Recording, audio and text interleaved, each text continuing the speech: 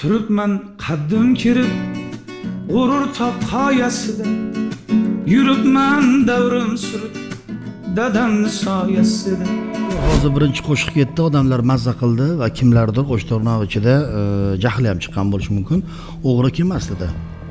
Hatto kommentariyada meni e, onamni so'kib o'zimni so'kib qattiq qattiq so'zlarni yozgan odamlar. Telefon qilib kelishib olamiz degan maqsadda telefon qilgan juda tepadan gapirgan gaplasha olaman endi u yigitni men haligi televideniyada ijtimoiy tarmoqlarda odamni bunday ko'rsangiz zo'r inson ekanda deb qo'yadigan holat bo'ladida u yigitni men o'sha oldiga borgan kunim hatto mashinadan tushmay so'rashdida avvalo birinchi men qo'l cho'zdimda unga. Bu baho misol birdan beshgacha baho bo'lsa ikki baho qo'yaman bu muomalaga. Majbur bo'ldim shunga aka endi haligi pulga yo'q qoldim haligi qo'shiqni egasi aniqroq bo'lib qoldida falonchini qo'shig'i deydigan darajaga borib qoldi. Endi shunga loyiq bo'lsa sudga berish ham kerak deb o'ylayman. Ho'p demak o'g'ri desa haqorat bo'ladi lekin sudga bersa haqorat bo'lmaydi bilmadim lekin shu gapingizga hozir Hmm, to'g'rimi yo'qmi? To'g'ri. Haqiqatku bu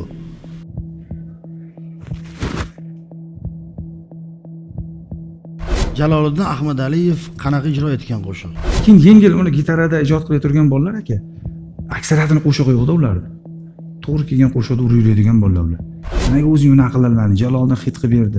Jaloliddin yetmaganda sani it ham tanimas edida endi negadir san'atkorlar orasida ko'p qo'shiq uchun talashyaptida kerakmikan o'zi shu narsaga talash? Desam xullas bu aka osmon qo'lingda bo'lsa tashlab yubor dedi endi osmon qo'limda bo'lsa tashlab yuborishim uchun men bu akani ustidan ariza qilishim kerak edi. Bu ashula hozir u ham maniki deydi siz ham maniki deysiz baribir. Lekin kim ijro etganda ko'proq pul topdi? Yelkamga chiqing onam hajga olib borayin. Yo'l yo'lakay ollohimdan sizga umr tilayin. Yelkamga chiqing onam hajga olib borayin menga bo'lgan tazyiq shu sabab ko'rdim ularni. Borsak shu bola endi chiqmaydi deyapti men aytyapti. U bola oxiri reaksiyaga kirgandan keyin to'ylarda meni noinsof deyishga o'tdida. Bir ikkita noinsoflar bizni qo'shig'imizni meniki deb aytib yuribdi. Degandan keyin inson har qanaqasiga achchig'i keladi bu narsaga aka. Mehnat qilasiz pul sarflaysiz. U ham tomdan tushib qolmagan qo'shig'im. U bola ham o'sha bir yaxshi ko'rib kuylagan demak yomon narsa bo'lmagan aka hop talashilmaganda nima bo'lardi? Nima yo'qotardingiz Ha, qizlarga уже boshqa takliflar ham bo'lgan ekan aka. Men bilishim bo'yicha o'sha qizlar san'atkor qizlar bilan gaplashdim bitta aka. U qizni bitta bolasi bor o'zi. Eri yo'q qiz ekan o'shanga ham shunaqa bir gaplar bo'lgan ekan. Endi bu narsani oxiri men majbur bo'ldim telegramda yozilgan suhbatlarni video montaj qilib tiktokka qo'yishga. Sabab o'g'ri bo'lib qolmasligim kerak ertaga meni farzandim ko'cha kuyda bir joyda gapirishni xohlamadim yana tez o'tib ketyapsiz qiz ko'ribdimi do'stlarim vatanga qachon qaytamiz? Do'stlarim vatanga qachon qaytamiz? Mehnat zo'r eshakda deydi mehnat haloli deydi go'sht harom deydi adashmasam to'g'rimi? Uka, kelasanmi kelmaysanmi oxiri shu darajaga bordik bir yaqinlik qilaylik bu qo'shiq yo seniki bo'lsin yo meniki bo'lsin. Qabulimga bepushtlikdan aziyat chekayotgan juda ko'plab bemorlar murojaat qilishadi. Ularni homiladorlikka tayyorlashda mamalin va spiralin preparatlarini tavsiya qilaman. Hoziroq qo'ng'iroq qiling. 71 kodi bilan 207 41 47. Konsultatsiya va yetkazib berish bepul. qaysi manzilda bo'lishidan qat'iy nazar o'z ma'nosini yo'qotmagan volidam restoranini tavsiya etamiz. Aynan qish kunlari issiq taom va issiq harorat bilan yoz kunlari muzdek va yengil havolar bilan sizlarni siylovchi volidam restoraniga taklif qilamiz. Eng sara taomlar va albatta mazali ichimliklar tavsiya qilinadi. Volidam restoranining manzili algoritm dahasida. Marhamat qiling. Volidam restoranining xizmatlari faqat siz uchun. Bizni ko'rib turgan ko'zi qoralariga siz dadasi borlar dunyodagi eng badavlat va baxtli insonsizlar bevaqt o'lim bilan dunyodan o'tgan otalari borlar. Sizlarga niyatimiz jannatlarda diydorlashish nasib etsin. Hammamiz otamizni yaxshi ko'ramiz otalarimiz umri uzun bo'lsin. Turibman qaddim kirib g'urur top qoyasida yuribman davrim surib dadamni soyasida ravon umr yo'llarim gulzor ungi so'llarim ko'kka yetar qo'llarim dadamni soyasida dushmanga xor bo'lmadim do'stlarga zor bo'lmadim yashnadim hech so'lmadim dadamni soyasida dushmanga xor bo'lmadim do'stlarga zor bo'lmadim yashnadim hech so'lmadim dadamni soyasida dadamni soyasida dadamni soyasida yuribman davrim surib dadamni soyasida dadamni soyasida dadamni soyasida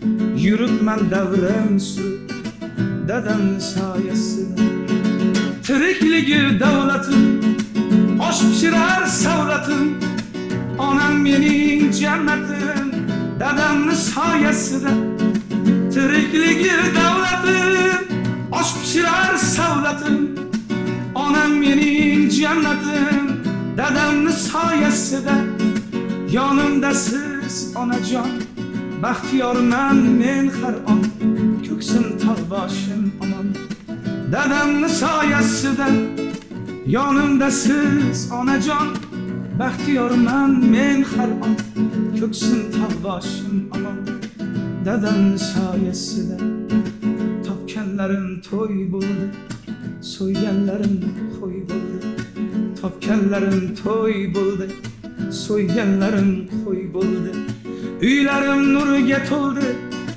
dadamni soyasida bu ko'nglim nurga to'ldi dadamni soyasida uylarim nurga to'ldi dadamni soyasida bu ko'nglim nurga to'ldi dadamni soyasida dadamni soyasida dadamni soyasida yuribman davrim surib dadamni soyasida dadamni soyasida dadamni soyasida yuribman qaddim kirib dadamni soyasida yuribman davrim surib dadamning soyasida katta rahmat bu qo'shiqni ijro etayotgan odam nimaga birovni qo'shig'ini ijro etyapti degan savol bo'lishi mumkin. Tanishtirib o'taman. Baxtiyor g'oziyev bugun mehmonimiz. Albatta siz va bizni kuzatuvchilar bilan ko'rishib olishlari mumkin. Marhamat. Assalomu alaykum aziz yurtdoshlar qadrdonlar ota onalar aka ukalar mana bir imkoniyat bo'lib bugun cho'tga tvda akam bilan bir suhbat qilish bizga ham bir nasib qilibdi. Allohga shukur albatta qo'limdan kelgancha akamni savollariga javob beraman bugun. Rizo bo'lsin rahmat. Ichki nizomimiz bilan tanishib o'tiramiz baxtiyor. Bugun bo'ladigan suhbatimiz sizga beriladigan savol javoblarni hech biri kesib tashlanmaydi deyiladi va kesib tashlanmaydi. Agarda sizga bu shartimiz ma'qul bo'lsa kameraga qarab ma'qul deb berasiz. Ma'qul qo'ldan kelgancha endi qani inshaalloh. Birinchi beradigan savolim shundan iborat bo'ladi. Baxtiyor hozir birinchi qo'shiq ketdi. Odamlar mazza qildi va kimlardir qo'shiqlarni ichida jahli ham chiqqan bo'lishi mumkin.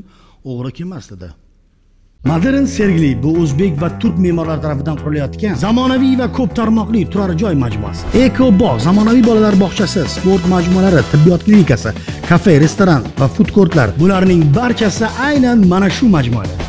Bundan tashqari mingga yaqin avtomobillar uchun mo'ljallangan maxsus yerosti avtomobil turargoh xizmatingizda. Keng va shinam terrasalar savdo ko'ngilochar majmualari finlyandiyadan keltirilgan zamonaviy liftlar kamera nazorati hamda qorovul xizmatlari. Bularning barchasi oxygen development kompaniyasining modern sergeli loyihasida. Modern sergeli baxtli hayot kaliti. Hoziroq xonadon xarid qiling va 100 foizlik to'lov asosida 15 foizlik chegirmaga ega bo'ling. Shoshiling xonadonlar soni cheklangan. Ekraningiz ostidagi raqamlarga murojaat qiling va batafsil ma'lumotga ega bo'ling. Birovni o'g'ri deb qo'ysam juda haqorat bo'lib qoladi. Ho'p nima deb atash mumkin? Ishqibozchilik qilib kuylagan deb aytaman. Juda ko'p san'atkorlar kuyladi endi bir kishi aytdi palonchi aytdi palonchi o'g'ri desam hozir uni haqorat qilgan bo'lib qolaman. Menimcha ko'pchilikka yoqdi bu qo'shiq. Yurtimizda menimcha hamma xonadonda yangradi shu qo'shiq. To'ylarda to'ychiqlarda hattoki odamlar yig'lab to'yga borsa shu qo'shiqni eshitib ota onalariga moshina uy kimdir sovg'alar shunaqa bo'lyaptiki bir qo'shiqni oldi ochiqligidan deyman menimcha xalqqa yoqqanligi uchun shunaqa bo'ldi. Ho'p demak o'g'ri desa haqorat bo'ladi lekin sudga bersa haqorat bo'lmaydi endi shunga loyiq bo'lsa sudga berish ham kerak deb o'ylayman. Loyiq bo'lsa agar inson o'g'ri deb atamasangiz lekin sudga berdingiz majbur bo'ldim shunga aka. Haligi pul kerak bo'lib qoldim yo'q. Pul kerak bo'lmadi aka. Bu qo'shiqni haligi chiqqandan keyin yaxshi narsani egasi ko'p bo'lib qoladi biz xalqimiz ichida borda bu narsalar. Misol bitta qo'shiq emas boshqa e, bir bozor iqtisodiyotida ham kelib turadigan holatlar bu. Bu qo'shiq yaralgandan keyin unisi bunisi aytdi birinchi e'tibor qilmadim aka bu narsaga. Endi shunchaki meni qo'shig'imda odamlar kuylabdi yaxshi ko'ribdi sevib aytibdi deb e'tibor qilmadim. Keyin kun kunlar o'tib kunlar o'tib qo'shiq bir ommalashgan sari haligi qo'shiqni egasi e, aniqroq bo'lib qoldida palonchini qo'shig'i deydigan darajaga borib qoldi.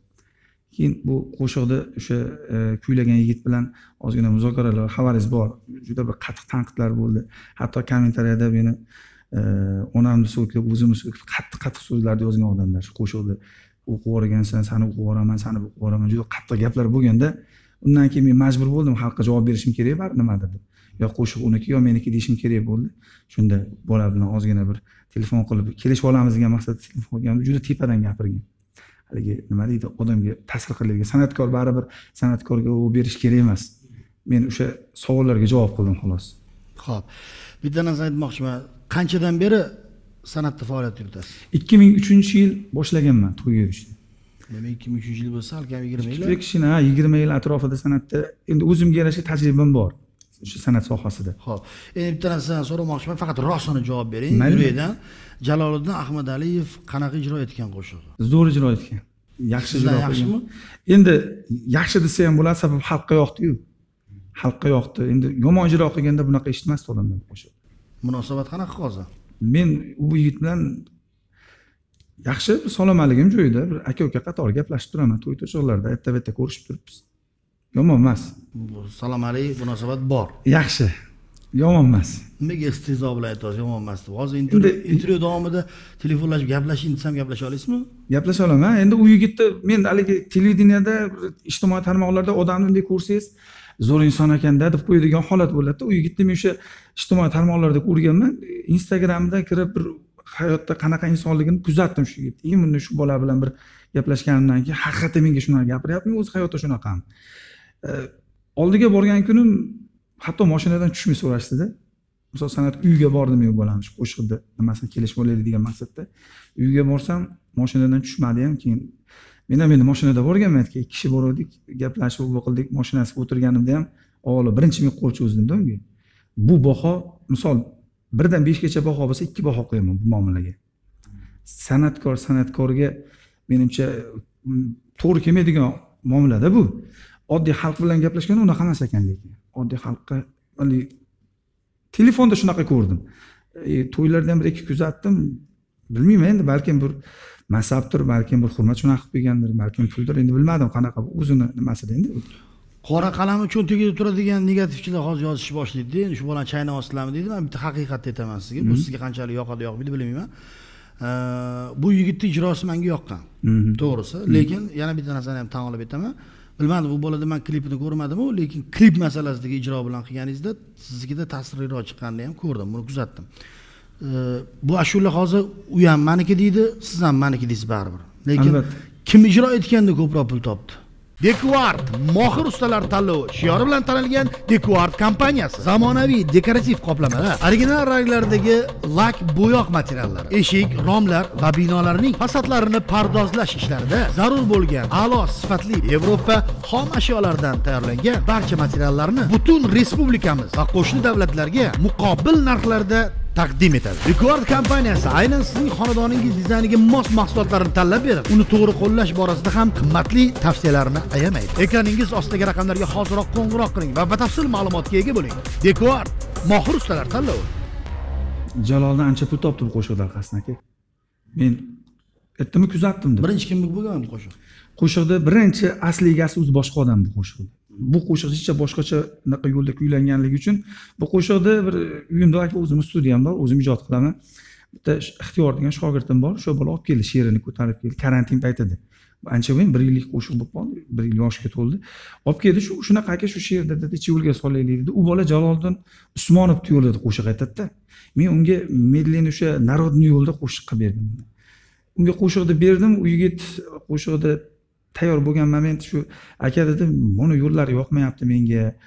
Xullas yoqmay turgan joylari bo'lib turgan paytida keyin shu shoirni rozi qildim shoir bilan gaplashdik desam yo'q dedi bo'lmasa dedim shoirga telefon qilamiz dedim. Shoir bilan gaplashib orani ochib qilib olish kerak yaxshi edi ekan dedim. Desam aka hozir menda imkoniyat yaxshi emas dedi. U bola endi karantin paytida pul topmagan yosh bola. Bo'lmasa dedim shu qo'shiqni biz aytaylik dedim. Senga boshqa qo'shiq qilib beray desam aytsangiz aytavering bo'lmasa aka. Endi haligi rozi qilib u qiladigan bo'lsangiz baribir sizga ham xizmat berishim kerak ekan dedi. Akaga chiqdim shoir akaga xurshid karim degan shoir yozgan ekanlar biz telegram lichkalarni topib aloqaga chiqsam.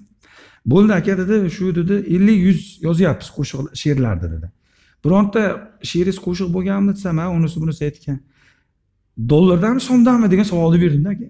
Yo hali dollarga chiqqanimiz yo'q dedi. Keyin akaga men yuz ming so'm bersam bo'ladimi desam bo'ldi dedi karta raqam tashla tashlab yubordim. И o'sha yerda gapirgan gapim bor telegramda yozganman endi akaga.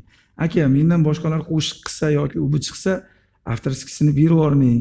Ertadan keyin muammo bo'lib qolmasin deganimda bo'ldi deb menga baxtiyorjon g'oziyevga shu she'rni sotdim. O'zimiz kelishgan holatda yozdik deb ovozli golos tashlab bergan inson.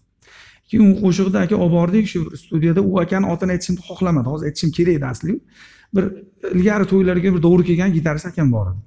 O'sha akamga o'sha mahallada o'sha aranjirovchilikdan bitta joyda ijod qiladi olib borganimda buni yaxshi mana yo'lda aytish kerak bunaqa yo'lga olish kerak shanson yo'l boru. Shu yo'lda aytsang menimcha qiziqroq bo'ladi dedi. Keyin biz aranjirovkaga berdik. Orada bir baxtsiz hodisa bo'lib men moshinamda avariya bo'lib ketdim besh olti oy oradan vaqt o'tdi aka. Yaxshi bo'lib to'y to'ychiqqa chiqqanimdan keyin yana ular bilan bog'landim. Qo'shiqni уже aranjirovkasini boshlagan paytimiz tiktokda bu yigit uchta to'rtta yigitlarni oldida aytganini ko'rdim. Keyin men nevoga chiqdim. Nevo sayti bor. Nevo saytida shu shohruh degan ukamiz ishlardi biz bilan men ham nevo bilan shartnomam bor edi. Meni qo'shig'im qo'yilgan temada ashula aytilibdi. Sizlar qo'yibsizlar. Kim aytdi desam jaloliddin degan yigit to'ylarda aytib yuribdi. Aka bu yo'lni kimdan olibdi, yigit desam o'zi qilgan dedi. Bu o'zi qilgan yo'l emas aka buni dedim palonchi aka gitarist palonchi aranjirovchi qilgan shu bola dedim shu ashulaga davo qiladi vaqti kelib dedim. Desam bu sizga reklama dedida u. Mayli dedim o'sha yigitni gapini olib oradan yana bir ikki oy vaqt o'tdi bu ashula hit bo'ldi aka. ana unda endi men jaloliddin bilan oxiri o'sha muzokaram shu xalq ko'rgandek aytish ular telefon qilsam olmaydi kechki payt telefon qiladi uyizga o'taman rozi qilaman aka deydi. Telefon qilsam yana olmaydi. Uka kelasanmi kelmaysanmi oxiri shu darajaga bordik bir yaqinlik qilaylik bu qo'shiq yo seniki bo'lsin yo meniki bo'lsin kesaylik arqonda dedi desam aka dedi qancha o'zi qo'shiqqa nima qancha so'rayapsiz dedim uch yuz dollar pul so'ragan o'sha qo'shiqqa. Uch yuz dollar pul so'rasam aka bu qo'shiq dedi yuz dollarlik qo'shiq dedi. Said usmon dedi gitarimga gitarisimga yoqqanligi uchun aytib yuribmiz. Bo'ldi biz aytmaymiz bu qo'shiqni aytavering dedi. Endi dedim men xalqni oldida dedim o'g'ri bo'lib aytib chiqmasligim uchun menga syomka qilib berdi baxtiyor akam qo'shig'i edi man aytib yurgandim desam man bunaqa ish qilmayman aka oradan vaqt o'tdi yana bir telefonlashdi menga telefon qildi o'zlari yuzga o'tyapmiz aka beramiz haqingizni yana telefon qilsam yana telefonni olmadi. Telegramda yozaman har safar telegramda gaplashamiz. Balkim to'y bo'libdir balkim xizmat balki ishdir javob bermasdi telefonimga. Oxiri men majbur bo'ldim telegramda yozilgan suhbatlarni video montaj qilib tiktokka qo'yishga. Sabab o'g'irib qolmasligim kerak ertaga meni farzandim ko'cha ko'yda bir joyda gapirishni xohlamadi. Shu sabab bu videolarni murojaatlarni qo'yib boraverdim men. U bola oxiri reaksiyaga kirgandan keyin to'ylarda meni noinsof deyishga o'tdida. Bir ikkita noinsoflar bizni qo'shig'imizni meniki deb aytib yuribdi. Degandan keyin inson har qanaqasiga achchig'i keladi bu narsaga aka. Mehnat qilasiz pul sarflaysiz farzand kabida men o'ziga ham aytganman bu gapni. Keyin ko'rishib kelishib olamiz degan bir gap bo'ldi orada. U bola bilan ko'rishdik. Ko'rishgani borganda ham biz ikki kishi bordik ukam bilan. Ular to'rtta mashinada bolalar kelganda birga oldimga. Balkim boshqa maqsadda kelgan bo'lishi ham mumkinda. Ular kirmasimdan uni akasi bor ekan birga yuradigan soqolli yigit. Juda qattiq tanqidiy gaplarni gapirgan. O'qib yuboraman o'qib yuboraman. Ya'ni xullas meni hayotimga tahdid qilgan joylari bo'lganda ular aytdim akalar dedim osmon qo'lda bo'lsa tashlab yuboringlar dedim. Bitta qo'shiq ekan u dedim. Shu qo'shiqni dedim shu bugun xalqqa dedim osonroq tushuntirish maqsadida men intervyu qilmoqchi edim sizlar bilan. Asabim buzilib qoldida haligi joyda holatni ko'rib keyin u yerda shu shu muzokaralar bo'ldi u bola bilan kelishdik bo'ldi. Aka aytavering men aytmayman bu qo'shiqni dedi. Kelishib nima qilganmiz aka sudga chiqilgan endi u aytgan sudga berib yuboravering aka degan. Men sudga ariza qilganmanda bu achchiq tirsa ustida qilingan. Ular bizga javob xatini jo'natdi. Ogohnoma qilib jaloliddin ahmadaliyevga o'sha e, o'rganib chiqish davomida dedi. Baxtiyor g'oziyevga tegishli ekanligi aniqlandi. Biroq dedi mulkiy huquq dedi she'rni huquqi xurshid karimda turibdi dedi. Keyin xurshid akamni o'sha sud zaliga chaqirgan paytimiz bormadi. Keyin adliya bizga bitta xodim qo'shib berdi uylariga bordik. Uylarida tilxat oldim eksklyuziv huquqi va mulkiy huquqni baxtiyorga beraman davoyim yo'q dedi. Unga yuz mingdan tashqari yana bir million pul berdi. Shunda yuz dollar pul bo'ldi.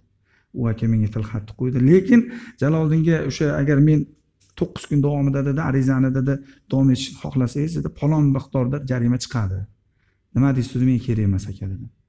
Mayli dedim shu bo'ldi bo'ldi kelishib oldik aka uka bo'ldi. Shu bilan temani yopdik telefonimda haligacha olib yuraman o'sha e, adliyadan tashlab berilgan hujjat. Rasman baxtiyor g'oziyev qo'shig'i demak. Meni qo'shig'im aka bu qo'shiq. Rasman. Ha. Ho'p endi keyingi savolim shunaqa bo'ladiki aynan mana shu temani oxiriga yetkazib olishimiz uchun bugun sal maydalashib ketmadikmi oldin yerlar uchun davlat uchun pul uchun boylik uchun kelishmovchiliklar bo'lardida endi negadir san'atkorlar orasida ko'p qo'shiq uchun talashyaptida kerakmikan o'zi shu narsaga talashish? Menimcha aka bu qisqaroq siz savolingizga men bilganimcha javob beraman. Ilgari san'atkorlar ijod qilganda aka san'atkorlar qo'shiq yaratilgan yaratgan qo'shiqni xalqqa eshittirilgan hozirgi paytda tayyor narsaga tayyor oshga baqovul deydimiz nima deydi? Shunaqa bir gap bor xalqda shunaqa ko'payib ketdi. Aka keyin yengil uni gitarada ijod qilib turgan bolalar aka aksariyatini qo'shig'i yo'qda ularni to'g'ri kelgan qo'shiqni urib yuradigan bolalar ular. Ko'pini bilamanda aka. Endi ismini aytsam haqorat bo'lib qolar balkim ko'pini avtorskiy qo'shig'i yo'q. Men o'sha ikki ming uchinchi yildan beri har yili bitta ikkita uchta qo'shiq qilaman o'zim. Faqatki meni sarmoyam bo'lmagan aka reklama qilishga. Ko'pchilik savol beradida nimaga o'zing aytib chiqmading? Nimaga o'zing unaqa qilolmading jaloliddin hid qilib berdi. Jaloliddin aytmaganda sani itam tanimasdi debdi.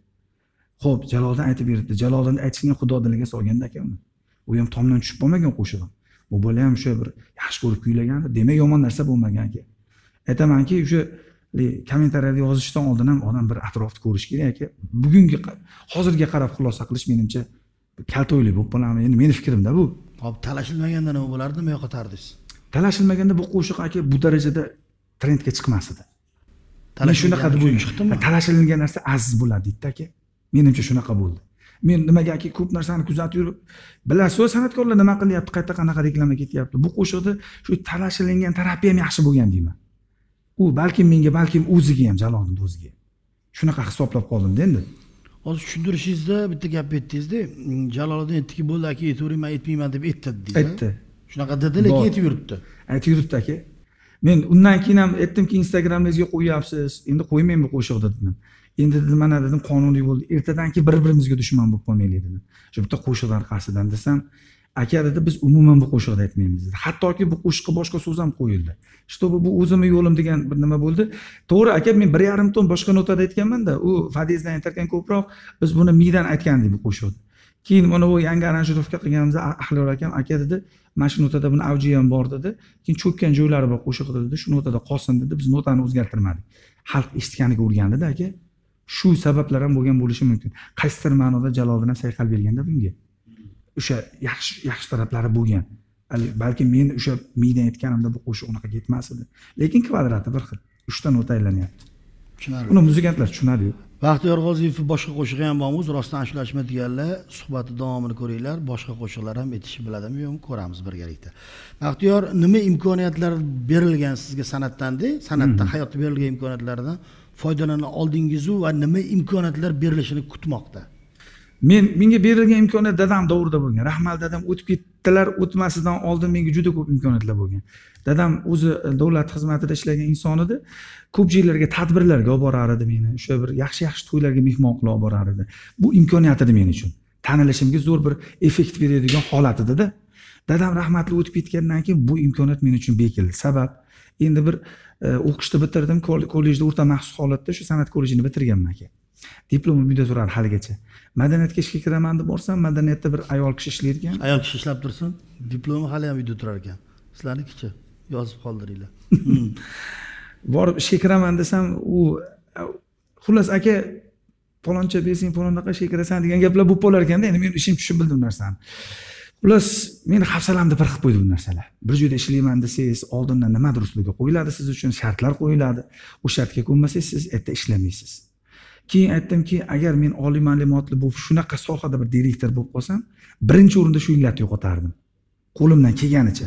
Balkim mendan keyingi avlodga yaxshi bo'ladi bu narsa. Bir joyda konsert qo'yaman desangiz borsangiz birinchi puldan gapiradi aka. Tag joyi e, palondaqa xizmat pistondaqa xizmat uni aka endi chiqib turgan san'atkor ko'tarolmaydi u pulni aka. O'zini puli bilan sponsor hammaga ham emas u. Topgan to'ydan shu tursin pul topgan puli bilan. Ho'p tazyiqlar kim tomonidan bo'ladi konsert qo'yaman desangiz? Birinchi tazyiq aka bo'lganini gapiring faqat. Yo'q birinchi tazyiq o'zbek konsert tomonidan bo'ldi. Menga men palon andijonda konsert uyushtirdik уже afishalar osilgan reklama men bilan shartnoma. Men ham endi aka tekinga bormadim aytgan pulga boraman. Lekin e, именно o'sha baxtiyor g'oziyev va palonchilar degan konsertda aka menga o'sha o'zbek konsertdan bitta aka chiqyapti. Endi ismini aytsam balki mayli bo'lib qolar ismini aytmayman. O'zbek konsertda ishlayman dedi. Sani litsenziyang bormi dedi. Litsenziya bor muddati to'xta tugagan to'xtatilgan sabab biz har har yili sezon oldi litsenziya olamiz. O'sha uch oy to'rt oyga litsenziya yoqamiz. Endi bir yillik bo'lib qolibdi dedim. O'sha to'rtinchi kategoriya litsenziyaga to'lovimiz bor xudo xohlasa bo'ladi desam xullas dedi uka bu konsertda sen chiqmaysan bu konsert to'xtatiladi dedi. Nima sabab to'xtatiladi desam men aytyapman dedi. Andijonda sen konsert qo'ya olmaysan dedi. Sensiramay gapiring. Aka men siz bilan ko'rishmagan bo'lsam bir joyda bir osh yegan joyim yo'q dedim. Desam xullas bu aka osmon qo'lingda bo'lsa tashlab yubor dedi. Endi osmon qo'limda bo'lsa tashlab yuborishim uchun men bu akani ustidan ariza qilishim kerak edi. Qaysi o'zbekni o'zi? Toshkentdagimi andijonniki Andijon. andijonniki toshkentda biror marta menga pretenziya qilmagan hech kim.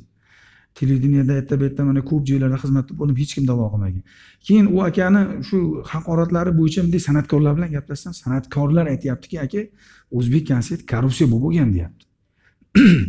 Qaysi ma'noda? San'atkorlarga to'yga borar ekan ellik ming olib chiq bor yuz ming olib chiq senga hech kim tegmaydi men turibman qizlarga уже boshqa takliflar ham bo'lgan ekan edi aka. Men bilishim bo'yicha o'sha qizlar san'atkor qizlar bilan gaplashdim bitta aka. Uch to'rt kun xizmatga borganda chaqirdim uni buni. Nima bo'lgan desam aka bizga bunaqa takliflar bo'lgan. Agar shu taklifga ko'nmasang litsenziya olasan to'yga yurmaysan. U qizni bitta bolasi bor o'zi. Eri yo'q qiz aka. O'shanga ham shunaqa bir gaplar bo'lgan aka. Endi bu narsani bunday olib qarasangiz aka g'alati emasmi o'zbek konsertiga aka. Bu yana tez o'tib ketyapsiz qiz ko'ribdimi qizni dugonasi endi shu bo'lgan voqeani aytib berdida ular menga. Shunaqa bo'lgan dedida endi. U ham qo'rqmaysanmi? desam xohlasangiz yozib oling dedi. Telefonda gaplashganimni yozib olib qo'ydim o'zim uchun. Keyin bolalardan so'rasam aka eshitganmiz to'g'ri gap dedi. Qancha pul berardilar desam hech yo'q yuz ming ellik ming olib chiqib ketadi har kelganda deyapti. Aka bu san'atkorlarga bu bo'lmaydi bu narsa aka? Endi bitta to'ydan yuz ming topar yuz ellik ming topar mahalla san'atkorda katta pul bo'lmaydi bilamiz uni. U topgan pulini unga beradi bola chaqaga yegsadi buni misol madaniyat vaziri ozgina bir e'tiborga olsa balkim yaxshi bo'larmidi? Menga bo'lgan tazyiq shu sabab ko'rdim ularni. И litsenziya oldik aka to'rtinchi kategoriya litsenziya oldik. Borsak shu bola imindi chiqmaydi deyapti men aytyapti. Bunga nima sabab endi? Desam, olsangiz ham. Ha litsenziya olgandan keyin.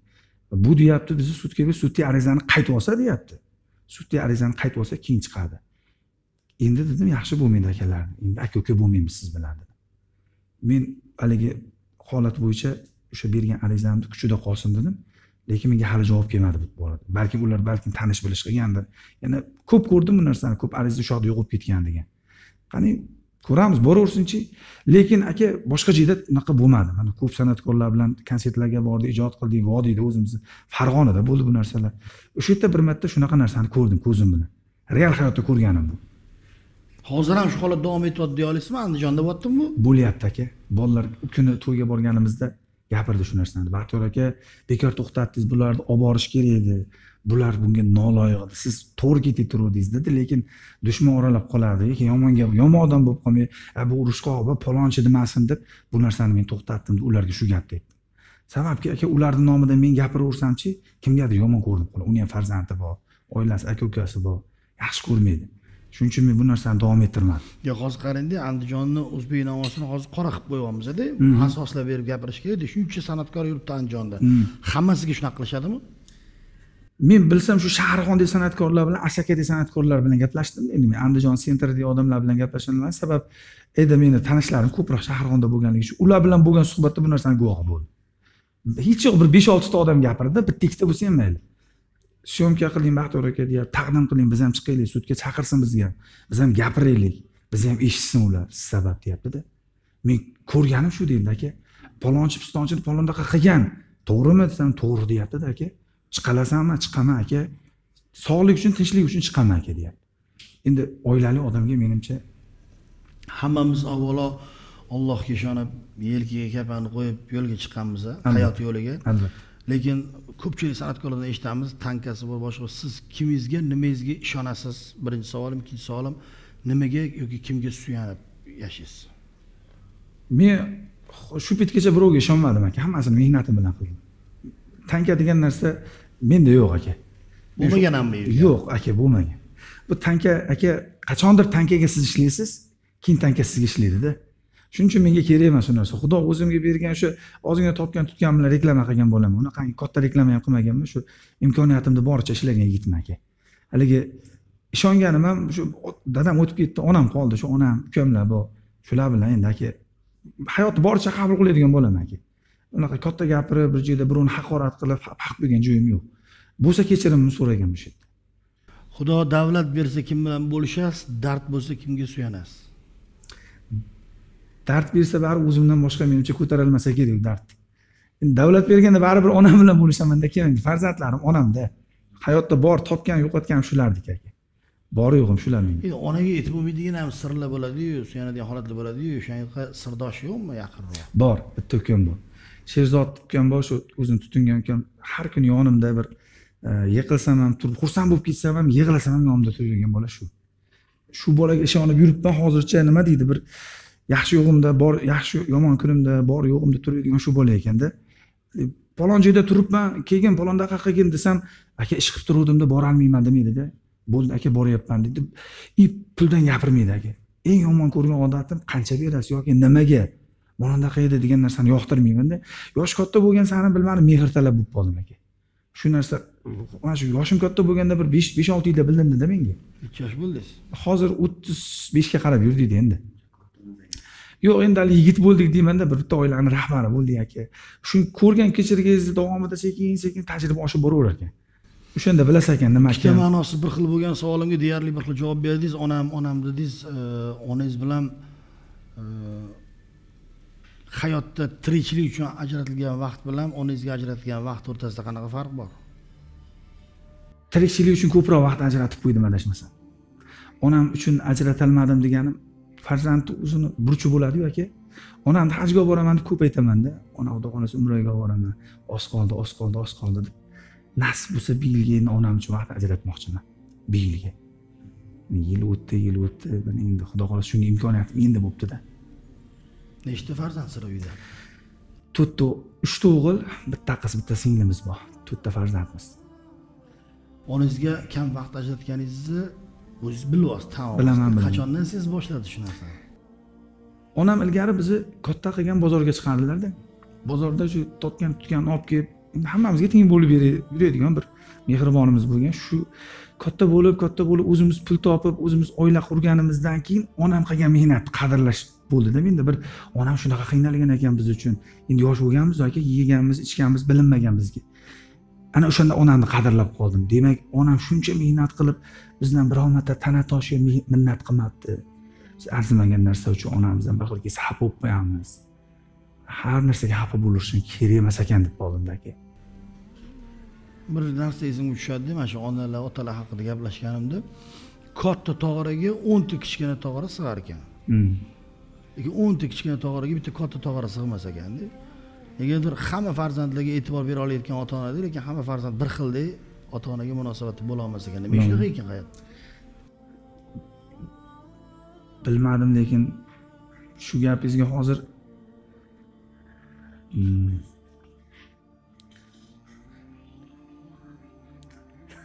to'g'rimi yo'qmi? To'g'ri. Haqiqatmi bu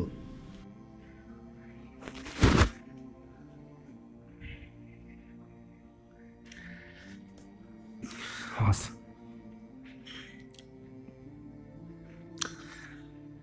hozir sal o'zimga o'ylay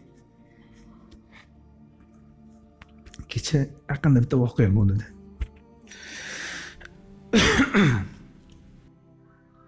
uyda hozircha o'zimga o'ylay aka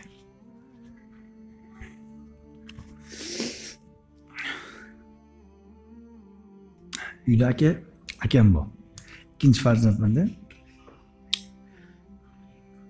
bir haligi arzimagan sabablar bo'lib qoladi u narsa kam bu narsa kam deb bo'ladida Endi to'y har kuni xizmatga chiqib kelaversangiz kech kelasiz. O'zingiz to'ylarda yurgan insonsiz ko'rasiz.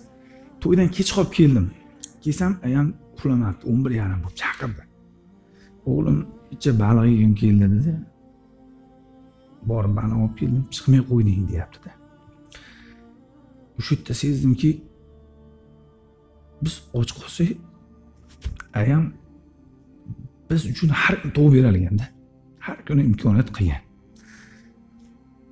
Biz shu ishni qilolmabmiz aka shu ish meni qo'limdan kelmabdi. Har kuni onam uchun e'tibor qilolmadim shu savolingizga menimcha ota ona bo'lish qiyin ekan.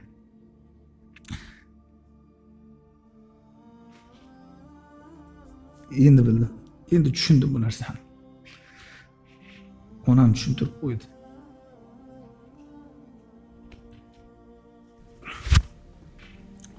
Man mana shu hozirgi holatingizda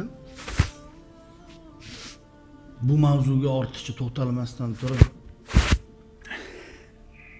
ona degan nom borku degan ona degan nom uchun bog'lash mumkin bo'lgan va loyiq bo'lgan ona haqida bitta qo'shiq eshitsak sizdan Tabim qochsa Allohimdan shifo so'rab yig'lar onam. Hayallasam yo'lim poylab zor intizor kutgan onam.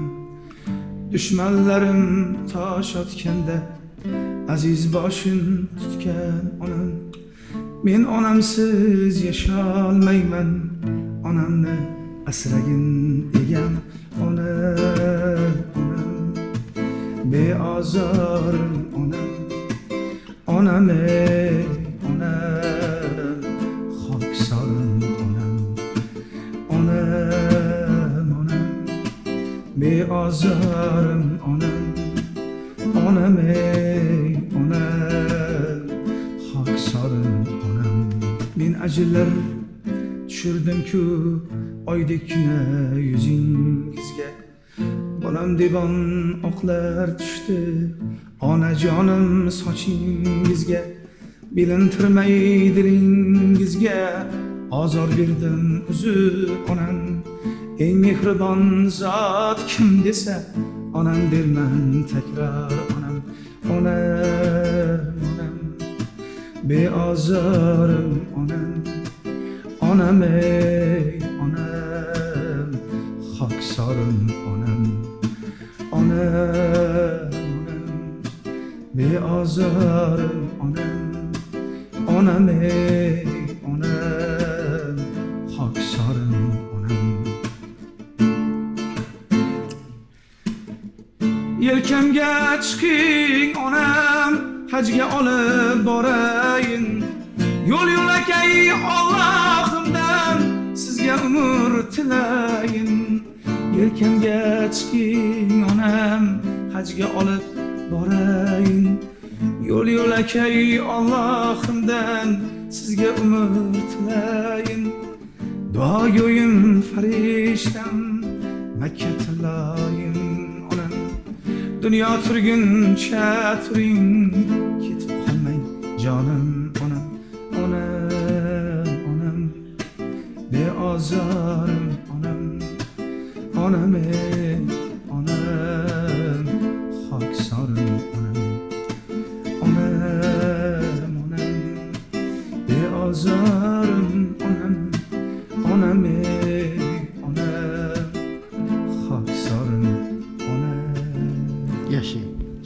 rahmat. Baxtiyor keyingi savolim shunaqaki baxtiyor oziyev qaysi holatda g'ururini toptalagan deb hisoblaydi? G'ururim toptalgan payt aka mana shu qo'shiqda shu dadam soyasidan aka dadam soyasidan aytgan paytim judayam bir yomon gaplarni eshitdim qattiq gaplarni eshitdim. Shu qo'shiqda aka уже san'atdan sovigan paytlarim bo'lib qoldida shu payt. Bularga aytaman shogirdlarimga aytaman uyda bir maslahat qilib qolamiz shu qo'shiqda. Ayam aytib qo'y o'g'lim aytma shu qo'shiqda dedi seni dedi alqayni yaxshi gaplar kelmayapti. Bir kuni bir bozorda bir qadrdoni bilan so'rashib qolgan ekan shu baxtiyor palonchi ashulachi bilan juda qattiq tortishib sudlashib yuribdi ekan baxtiyorga yarashmabdi bu ish debdida endi. Ayam uyga keluvdim shu to'ydan kelgan paytimda o'g'lim shu qo'shiqni qo'y dedi endi dedi. Ana bola aytibdi aytaversin. Nima qilma tortishmagin. Dushman oralab qoladi endi. Men ko'tarolmayman o'g'lim birajada senga noto'g'ri gap bo'lib qolsa hazm qilolmayman dedi. Keyin sherzod chaqirdim sher shunaqa deyapti ayam desam. Aka dedi dovraga chiqib qo'yildida dedi. Necha oldinroq bo'lganda ham bo'lardi dedi. Oxiriga yetib qo'ying dedi shu qo'shiqni xalq endi baribir dedi. Yengildi degan gap bo'lib qolmasin tugatib qo'yaylik aka mayli keyin xohlasangiz ayting shu qo'shiqni dedi. Keyin uni ishlar bo'lib bo'lgandan keyin kommentariyalarda aka yomon haligi odamni bir haqorat qilib yuboradida insonlarchi? Kommentariyani o'qib turib ularga bittama bitta yozsam men yetkazolmayman aka tushuntira olmaymanda unga. Aytaman biror kun bizni ham bir birortasi intervyuga chaqirib qolar. Bunga aytdim bironta intervyuga borib qolsa aytdim shuni obdon gapirib tushuntiraman shu narsani. Shu qo'shiq bir shunaqa bir og'ir keldida menga aka o'sha kunlari san'atdan chiqib ketgim ham kelib ketdida shu. Tugataylik bo'ldi boshqa ish qilaman. Bizga emas ekan san'at. Bitta qo'shiqda aytsang bu unaqa qilsa buni aytsang bu bunaqa qilsa nima keragi bor? Devordimda aka. Keyin yaxshilikka bo'ldi mana kelishuv bu bo'lib. Klip oldik. Endi klipdan keyin ko'rgansiz o'zingiz klipini. Odamlar keyin yaxshi tomonga o'tdi haligi menga tosh otganlar ham qarsak cholgan joylarni ko'rdim. Hatto o'sha yozib qo'yardim telefonimga palonchi pistonchi desa skrinshot qilib olib qo'yardim. Menga kirib ham yomonlagan paytlar unga kirib ham yomonlagan paytlar bo'lganda odamlarni. Keyin yaxshi fikrlar bo'ldi. Zo'r aytibsan otangga rahmat. Odamlar to'ylariga aytib to'ylarim ham aka shundan keyin bir boshqacha tarafga o'zgarib ketdida ba'zi kengayib qoldi. Ijobiy tarafga. Ha o'shandan keyin keyin san'atga yana bir ishqiboz bo'lib yana bir gullab endi endi ijod qilamiz endi to'xtamaymiz degan bir fikr bo'lib qoldi menda. Bu qo'shiqda og'ir tarafiya ham yengil tarafiya ham bo'lgan men uchun. Ho'p bu qo'shiq qachoncha nima holat sizni g'ururingizni toptirdi? Bu qo'shiqqacha bo'lgan paytda haligi mehnat deymizu san'atda ham men o'zim olti yil besh olti yil begona sostavda qo'shiqchi bo'lib ijod qilganmanda unda men to'y olmas edim. Organizator to'y oladi to'yga boraman xizmatni qilib qaytadigan paytlarimiz. To'yga borib aka xizmatni qilib ikkita xizmatga menga yetmish ming pul berardi bitta xizmatga ellik ming pul berardi o'sha payt. Endi san'atkorlar tilida qism deyiladi men qism olmas edim. Договорni ishlardim. Xizmatimga yarasha pul berilmagan paytda ikkita uchta to'y bo'lib qoladi kirib xizmatni tugatasiz hammaga zo'r pul beriladi menga o'sha puldan orttirilmagan bir o'n ming so'm qo'shib berilmagan o'sha paytda. O'shanda aytardimki sog'ligimga ham yetmayapti yo'q pul aka derdimda miyam qisib qolardi to'yda. Andijon shaharxonlarida to'y olti soat besh soat bo'ladida aka. Kuyov bola лишний bir yarim soat o'ynaydi to'y tugagandan o'sha paytda xafa bo'lib ketardimda shu agar shu ketishda ketsam aniq jinni bo'lib qolaman aniq sog'ligimni yo'qotaman derdim oxiri borib qanday keldi уже to'ldida. Keyin u sostav tark etib chiqib ketdim. Bo'ldi men to'ylarda o'rtakashlik qilaman yoki taksi qilaman dedim. Taksi ham qildim aka unisi bunisi bilan to'ylarga o'rtoq borib yurdim. Birortasi aytardi yaxshilik yordam qilib yubor yaxshi. Kuyov bilan o'ynatib berib boraman. Shunaqa shunaqa qilib ham rizqim aka. o'shanda ham ta'sir qilgan joylari ko'p bo'lganda endi haligi mehnat zo'r ishlaydi deydi mehnat haloli deydi go'sht harom deydi adashmasam to'g'rimi? Shunga o'xshagan ishlar bo'ladi. Mehnatingizni halol qilasiz ko'proq pulni ular olib ketib qolardi xafa bo'lardim aka ta'sir qilardida u ho'p mana e, san'at faoliyatida ketmoq ketmoqchi ham bo'ldim dedingiz keyin faoliyat davomida ozgina boshqa ish ham qildim dedingiz nima ishlar qildingiz san'atdan ketgan paytlaringizda? San'atdan ketgan paytim lizing pulim yetganicha lizingga moshina oldim aka. Kreditdan moshina olib ikki yil oshiqroq andijonga qatnadim qo'qon andijon qilib. O'sha andijonga qatnab kunimga yetmish ming pul topardim oltmish yetmish ming pul. Undan yaxshiroq edi lekin ayda ham so'kishi eshitasiz birovdan kimdirni odamni palonchi pistonchi. So'kishlar hatto urushib ketgan joylarim bo'lgan vodiy petakda ishlaganmisiz vodiy petakda ishlaganman. Toshkentga odam bo'lsa toshkentga ham kelardim lizingda moshina men bir oyda bir million yetti yuz ming so'm bankka pul olib borishim kerak. И oilam bor ust boshim bor. Ertamatdan uydan choyni ichib chiqib obed qilmay kirib ketgan kunlarim bo'lgan aka. Sabab o'sha pulni yetkazib olib borib o'sha oyni to'ldirib olishim kerak bo'lgan. O'sha ishlab ishlab bir yarim yil meni moshinani ziyoniga sotib aka uyimda turgan u bu narsalarimni sotib to'lagan kunlarim bo'lgan. Qiyinchilik juda qattiq o'tgan mendan. San'atdan chiqib ketganimda. Boshqa ish qilolmaysiz aka. Men videochilik qilaman birov meni to'yga yetmaydi keyin o'yladim endi osonroq o'rtakashlik ekan to'ylarda to'g'ri olib boraman aka. Bir qism pul beradi. Moshinang bilan kelsang paloncha beraman. Shunaqa qilib ham yurdim. Bir yil bir yarim yil osonroq yurdim aka. O'sha paytlarda endi tirikchilik degan narsa bo'lganda menda aka oilamni shu o'zimni uyg'otmaslik uchun aka o'g'irlik qilmadim. Birovni haqqiga xiyonat qilmadim aka. Shu ishlarni qilib tirikchilik qilganman. Qaysi san'atkorni ijodi va darajasiga juda havas qilasiz? Qaysi san'atkorni o'xshamagan ijodiga achinasiz? Endi mashhurlardanmi yo umuman? Farqi yo'q. Mashhurlarga xos qilasiz ozod akam bilan yulduz usmonovani ozod nazarbekov bilan. San'atini shunaqangi bir havas qilganman. Bu insonlarga o'xshash uchun palonchni qilasan desa qilaman shu ishni. Men palondaqa buni tog'dan o'sishing kerak mana bu yerda buni bunaqa qilishing kerak desa qo'limdan kelsa qilaman shularga o'xshash uchun. Bular aka san'atda endi haqiqiy san'atkorni bilamanda qisqasi bularni havas qilganman. Kuzatasizmi ijodlarini? yuz foiz kuzataman aka. Ozgina gitarasi yulduz opadan nimadir aytib bering. Yulduz opam xasta bo'lmaydigan qo'shiqlari mayli bor ozgina seni hamma hammadan yaxshi ko'rib sevaman. Bilib bilmay gohida qalbingga ozor beraman. Xasta bo'lib qolsang agar ana xado bo'laman. Kasal bo'lma iltimos sensiz nima qilaman? Bizga baxtlar yarashadi armon emas o'zga yorning kulgulari darmon emas. Boshqa birov sendek bo'lolmas. Xasta bo'lma jonim ado bo'laman. Mendan oldin o'lma ishon o'lib qolaman.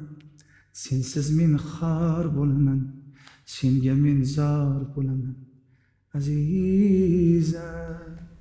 Yomon ashula tanlab yubordi lekin ho'p e, bugungi kunda hozir sizga kelganda onangizdan tashqari shunaqa kimsa bormi? Hamma narsaga tayyor bo'ladigan odamingiz odam uchun. Yo'q menimcha. Yaxshilik va yomonlik deganda uni farqi hammamizga ma'lumda.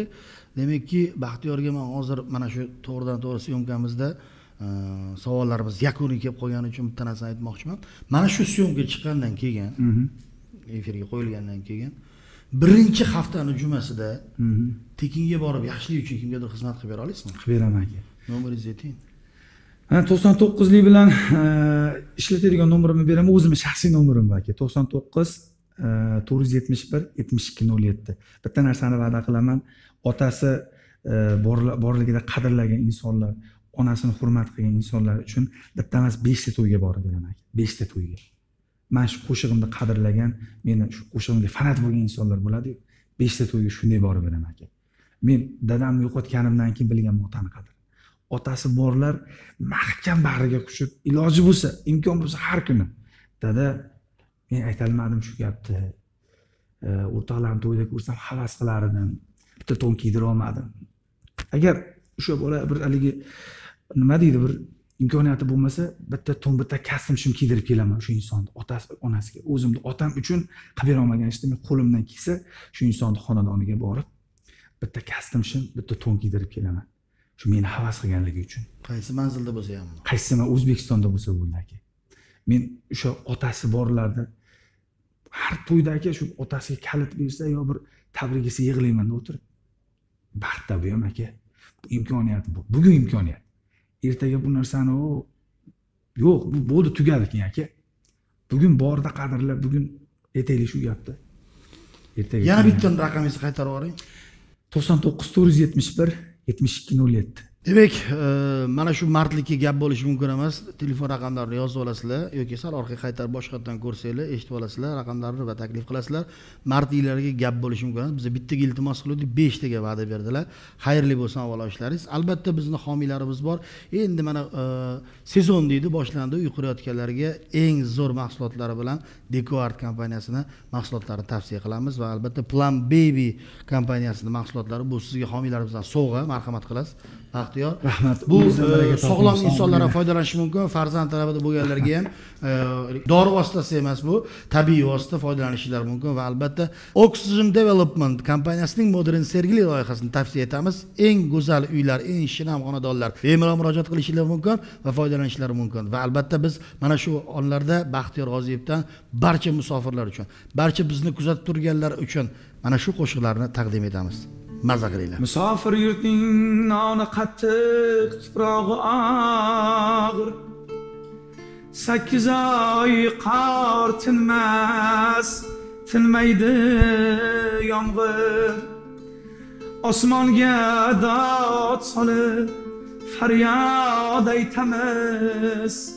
Do'stlarim vatanga qachon qaytamiz? Do'stlarim vatanga qachon qaytamiz? O'zim musofirdaman ayolim uyda. Farzandlarim ikki xayolim uyda. Erta deb indin deb dalda aytamiz. Ay do'stim vatanga qachon qaytamiz? Kelganimga necha yillar bo'libdi. Ota onam yo'llarim poylab turibdi. Bolam meni kecha tushda ko'ribdi. Ay do'stim vatanga qachon qaytamiz? Kelganimga necha yillar bo'libdi. Ota onam yo'llarim poylab turibdi. Bolam meni kecha tushda ko'ribdi. Ay do'stim vataniga qachon qaytamiz? Ishlagan pulimga to'ylar qilaman. Mehmonga deb baland uylar quraman. Men uchun tilmayin duoda bo'lgan. Inshaalloh ota onam hoji qilaman. Yiqqan davlatimga uylar quraman mehmonga deb baland uylar quraman. Men uchun tilmayin duoda bo'lgan inshaalloh ota onam hoji qilaman. Bu so'zni chin dildan takror aytamiz. Ay do'stim vatanga qachon qaytamiz? Bu so'zni chin dildan takror aytamiz. Ay do'stim vatanga qachon qaytamiz? Eslaylik yurtimiz har soniya har on. Oila muqaddas yerlar fido bo'lsin jon bu so'zni chin dildan aytadi gufron kelajagi buyuk hur o'zbekiston yurtim deb elim deb dalda aytamiz ay do'stim vataniga qachon qaytamiz elim deb yurtim deb dalda aytamiz ay do'stim vataniga qachon qaytamiz ay do'stim vataniga qachon qaytamiz